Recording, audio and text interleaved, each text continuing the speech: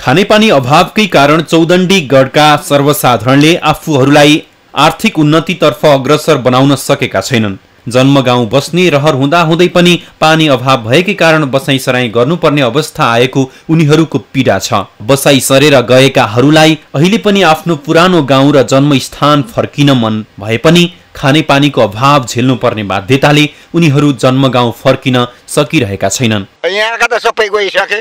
अब सेडा काशीनाथहरू जनकहरू सबै यहीँ पर्थेको जग्गा छ सबै जग्गा चाहिँ यता यता कमाएर खाइरहेका छन् कोही बजाउने सुबेडीहरू सबै सिकारी मारिछन् घैला डुबाहरू छतिर छन्। सर्वसाधारणले एक गाग्रो पानी लिन बिहान चार बजे हिँडेर दुई घन्टा बढी ओह्रालो पर्खिनु पर्ने अवस्था रहेको छ।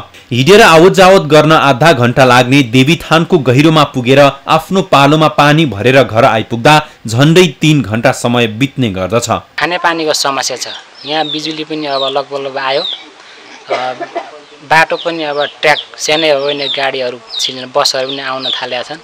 र अब यहाँ रह्यो अब बाटो हिँड्ने यताउता। अब कतैबाट यसो घुमघामको लागि आउँदा पनि पानीको समस्या यहाँ कुनै होटल लजहरू छैन।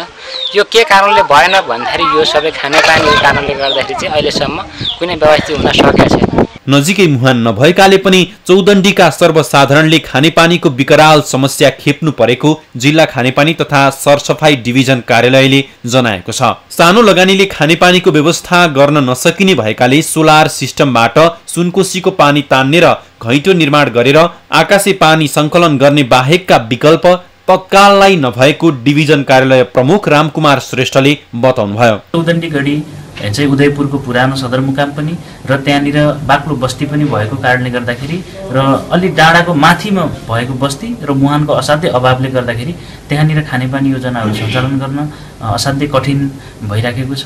र हामीले त्यसको लागि चाहिँ केही योजनाहरू लिफ्ट गरेर पानी तलबाट माथि तान्ने र डाँडामा लगेर अनि त्यसपछि फेरि ग्राभिटी फ्लोको मार्फत वितरण गर्ने गरिकन पनि योजनाहरू बनाइरहेका छौँ। कुल चार हजार चार सय तेइस जनसङ्ख्या रहेको चौदण्डी गढीमा सात सय छत्तिस घरधुरीको बसोबास छ।